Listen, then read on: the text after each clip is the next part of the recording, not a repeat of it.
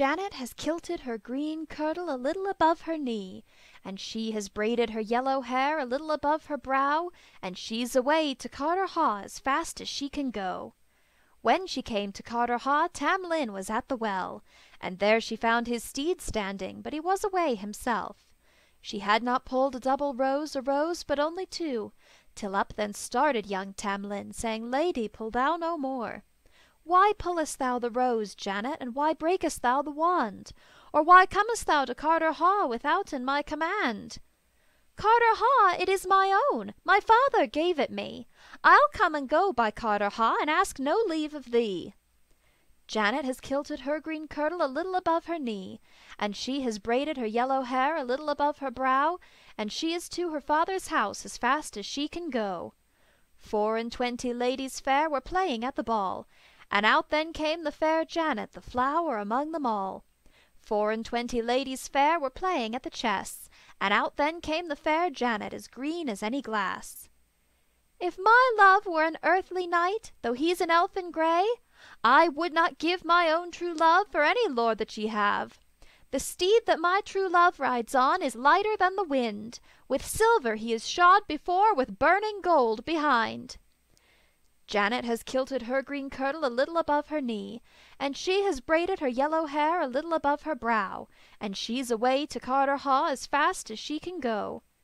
When she came to Carterhaugh, Tam Lin was at the well, And there she found his steed standing, but he was away himself.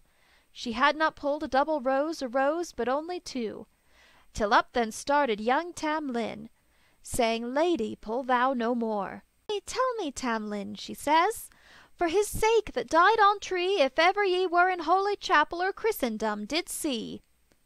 "Roxburgh he was my grandfather, Took me with him to bide, And once it fell upon a day that woe did me betide.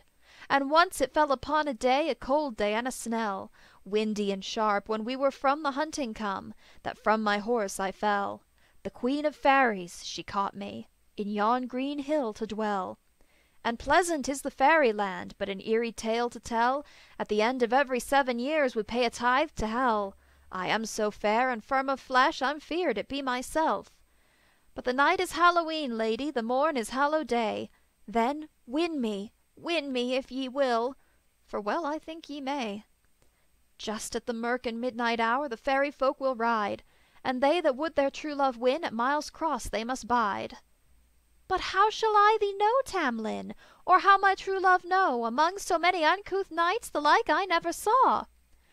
"Oh, first let pass the black, lady, and then let pass the brown, But quickly run to the milk white steed, pull ye his rider down, For I'll ride on the milk white steed, and ride nearest the town, Because I was an earthly knight, they give me that renown. My right hand will be gloved, lady, my left hand will be bare, Cocked up shall my bonnet be, and combed down shall be my hair. And there's the tokens I give thee.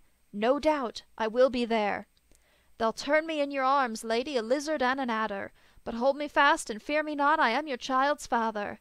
They'll turn me to a bear so grim, and then a lion bold, But hold me fast and fear me not, and ye shall love your child.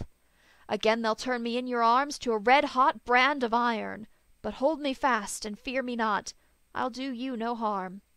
And last they'll turn me in your arms into the burning gleed, Then throw me into well water, oh, throw me in with speed! And then I'll be your own true love, I'll turn a naked knight, Then cover me with your green mantle, and hide me out of sight. Gloomy, gloomy was the night, and eerie was the way, As fair Jenny in her green mantle to Miles Cross she did go.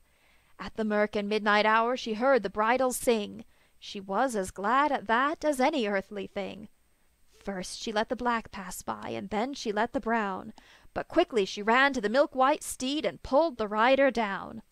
So well she minded what he did say, and young Tam Lin did win, Then covered him with her mantle green, as happy as a bird in spring.